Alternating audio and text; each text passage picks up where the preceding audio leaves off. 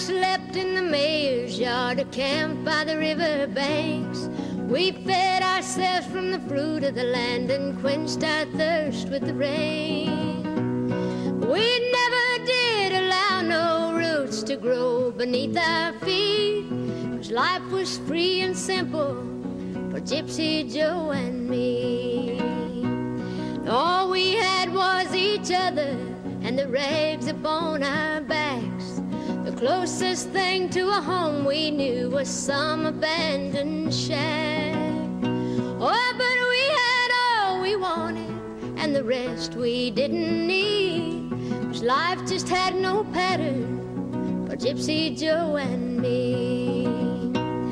Now, Gypsy was my little dog I'd found by the road in a ditch. And so I'd named him Gypsy, cause that name just seemed to fit. Flower of my soul. Though he never said he loved me, I just always seemed to know.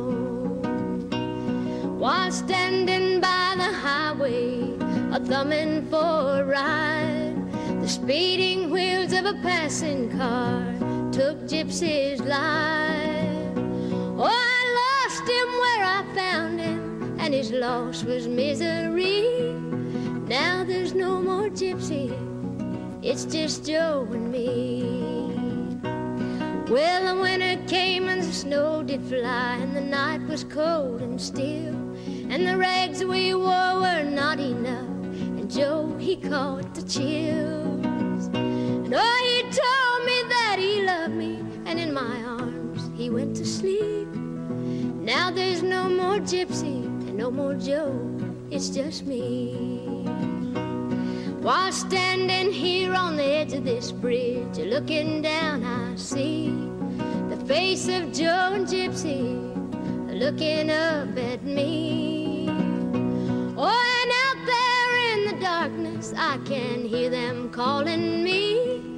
Tonight we'll be together again, Gypsy Joe and me. Yeah, tonight we'll be together again, Gypsy.